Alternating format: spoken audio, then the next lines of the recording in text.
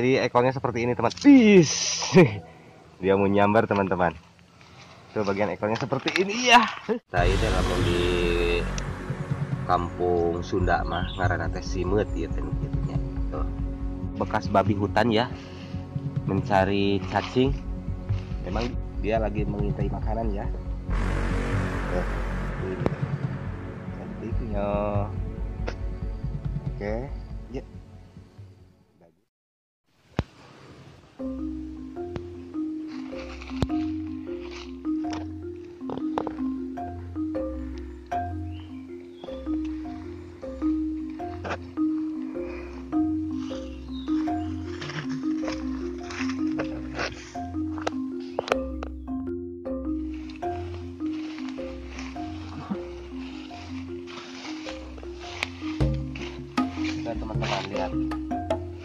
kayaknya bekas babi hutan ya. Mencari cacing. Memang di sekitaran sini banyak sekali babi hutan teman-teman. Biasanya babi hutan itu mencari makanan ke tempat-tempat seperti ini dan kayak itu di sana itu ada kebun singkongnya tuh pasti habis oleh hutan ya. Oke, kami akan coba menuju ke sana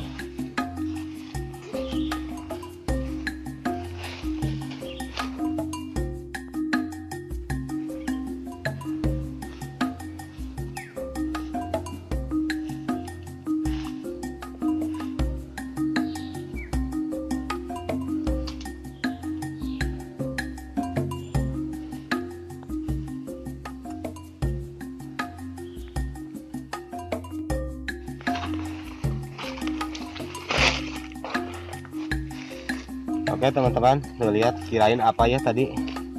Kirain ulat ya teman-teman. Nah ternyata ini jamur ya, jamur pohon pohon albu. Memang ini bisa menghambat buat tanaman pohon ini albu atau albi ya. Nah jadi tumbuhnya seperti ini. Jadi tidak sehat ya karena ini ada jamurnya seperti ini tuh. Oh.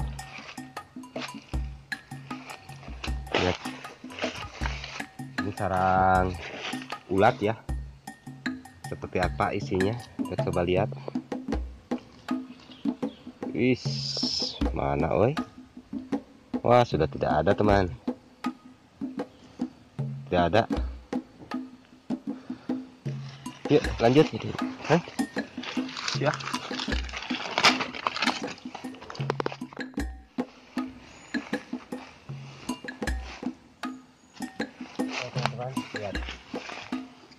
Ih, cantik sekali ini.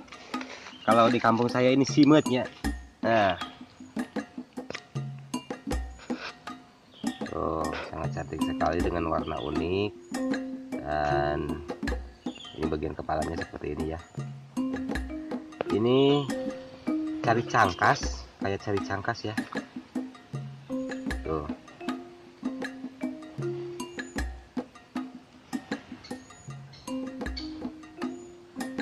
tuh bagian sayapnya seperti ini teman-teman. Cantik sekali. Simutnya saya teh lamun di kampung Sunda mah ngaranna teh simut ya gitu nya. Tuh. Yuk kita lanjut lagi. Biarkan saja ini di sini ya simpan dulu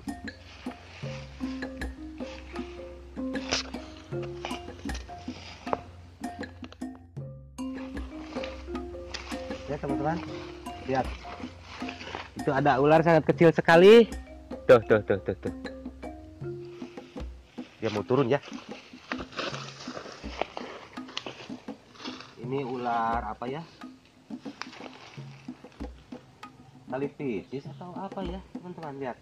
Ih dia jatuh. Mana kan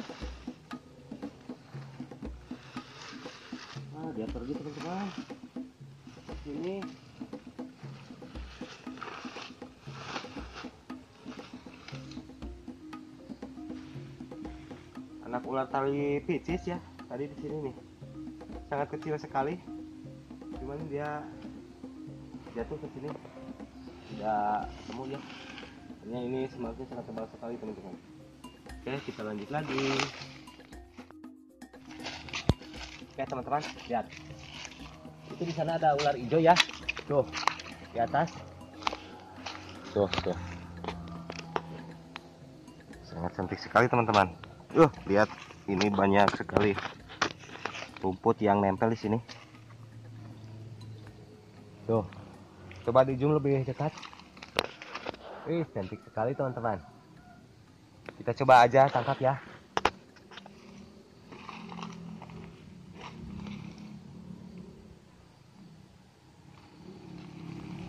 Cantiknya, cantiknya. Oke teman-teman lihat. Ini adalah ular goyosoma atau ular bajing seperti ini. Cantik sekali. Tuh. His. His. Tuh lihat jadi ekornya seperti ini teman. His. Dia mau nyambar teman-teman. Tuh bagian ekornya seperti ini ya. ya. Lihat. Lihat teman-teman. Cantiknya. Dia sini sini sini sini. Sini. Sini. Ush. Hah.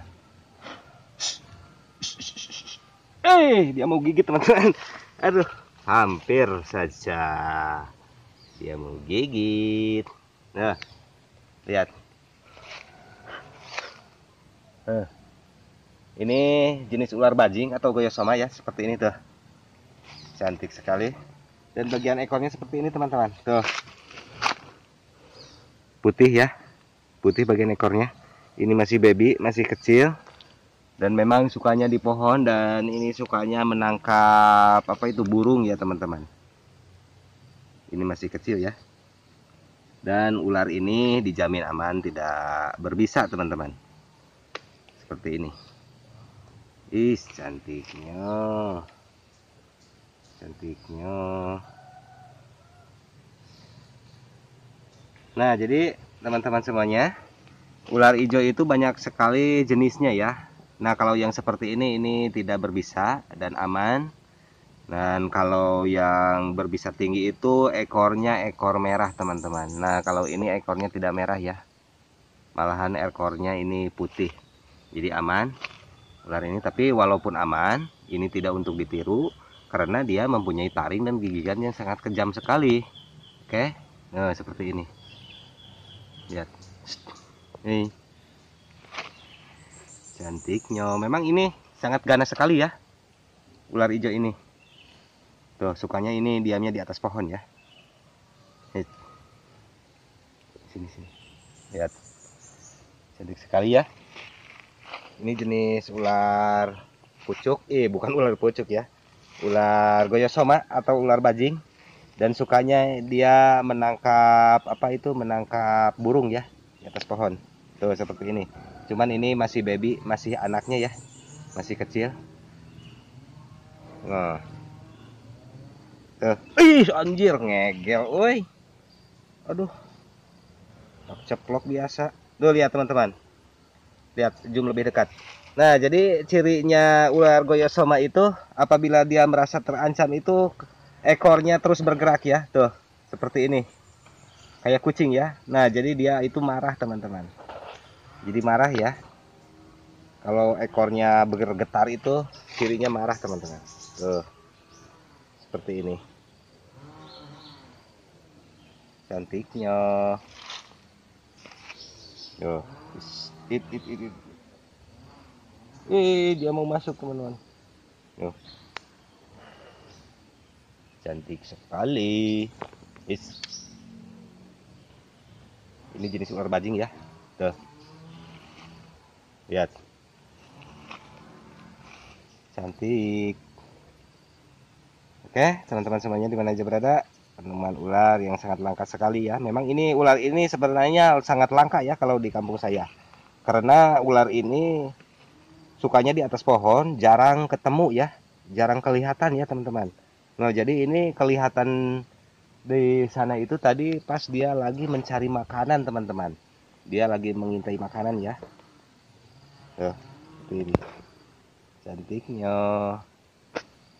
Oke, ya. Bagus. Bagus sekali ya. Dan ular ini mempunyai badan yang bau menyengat ya apabila dia terancam mengeluarkan dari badannya sangat sangat hmm, sangat ini non baunya menyengat sekali teman-teman. Seperti ini. Dia kayaknya mau ditimang-timang ya. Cantiknya. Ini masih kecil teman-teman. Nah, goyosoma ini bisa mencapai besarnya sebesar gelang tangan ya, teman-teman. Kalau sudah dia besar dan kalau ini ukurannya sekitar berapa kali ya. Ini masih baby seperti ini, masih kecil. Oke. Kita simpan aja lagi ular ini, biarkan saja dia pergi. Yuk. Sini. Yuk, pergi. Oke. Lihat dia pergi biarkan saja masuk ke dalam semak yang tebal ya oke teman-teman semuanya di mana aja berada? Penemuan ular yang sangat langka sekali goyosoma ya. Memang di sini sangat langka goyosoma itu karena tidak jarang jarang kelihatan karena diamnya di tempat-tempat semak seperti ini ya. Oke sampai di sini dulu. Wassalamualaikum warahmatullahi wabarakatuh